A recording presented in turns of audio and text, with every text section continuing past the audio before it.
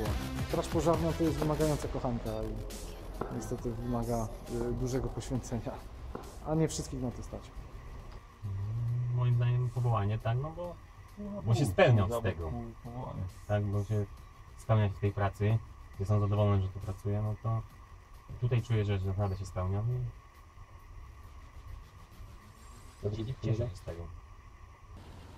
Nie pół na pół, tak jak mówiłem, od dzieciństwa chciałem straży, więc powołanie.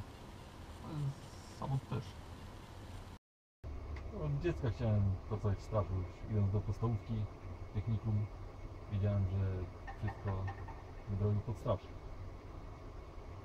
No i udało się. W moim, w moim przypadku to, to no, troszkę, można powiedzieć, tradycja rodzinna. No mam po prostu. Udało się dostać za pierwszym razem i cieszę się, że udało. Bo nie wiem, czy kolejne razy próbował. Bo, bo nie jest łatwo się dostać do straży.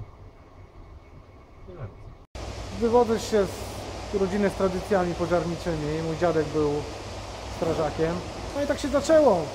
Potem yy, strażakiem został mój tato, mój brat. No i ja jestem kolejnym, że tak powiem, członkiem rodziny, który założył mundur strażacki. Jak Chicago Fire, tak samo są obiady wspólne.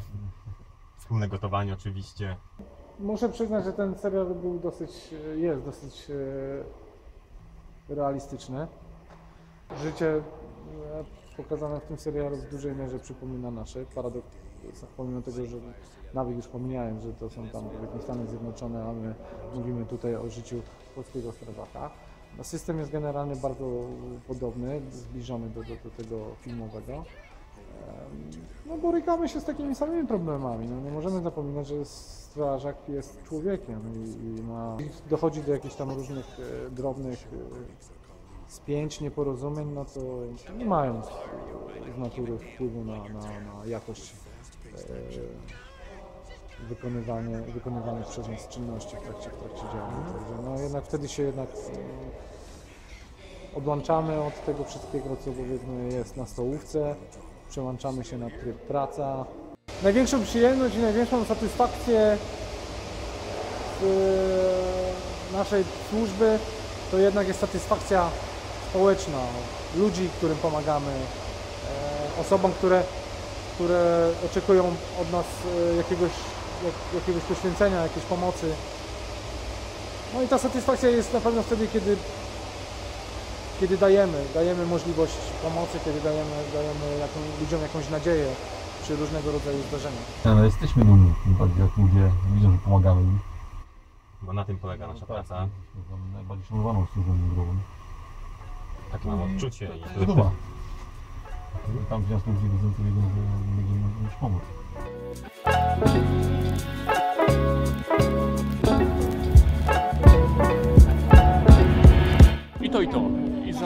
Powołanie. 60% powołania, 40% zawód. Zresztą jak każde powołanie e, należy je wykonywać rzetelnie, sumiennie i konsekwentnie, ale bez powołania myślę, że się tego nie da zrobić. Bo to jest misja.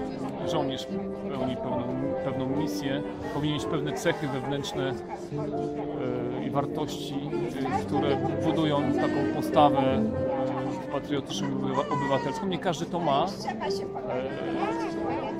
Bywa tak, że uda się, da się to wy, wydobyć podczas pełnienia służby. Wtedy taki żołnierz także jest, y, jakby zdobywa to powołanie, tą, tą, to, to poczucie pełnienia misji w trakcie. Y, Ale lepiej jest, jak to powołanie istnieje od, od początku. No i podobnie jest y, z policjantem. Żeby powołanie sprawiało radość i, i, i, był duży efekt, no to musi pójść za tym również y, środki finansowe, które będą Zawód i powołanie. Dlaczego? Pasja. Powołanie.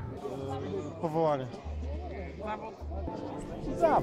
Nazywam się Kalina Patek, pracuję jako animator kultury i uważam, że e, zawód policjanta, strażaka i wojskowego to jest e, powołanie. Przynajmniej uważam, że powinni to robić ludzie, którzy czują to powołanie ze względu na wysokie ryzyko i duży procent niebezpieczeństwa tej pracy oraz chęć niesienia pomocy innym i wydaje mi się, że to powinna być główna idea przyświecająca wykonywaniu tego zawodu i szanuję bardzo ludzi, którzy to robią, a najbardziej chyba strażaków, e, ponieważ e, oni najbardziej ratują e, życie, bo nie każdy policjant czy wojskowy, umówmy się, podczas swojej nawet 20-letniej służby ratuje to życie.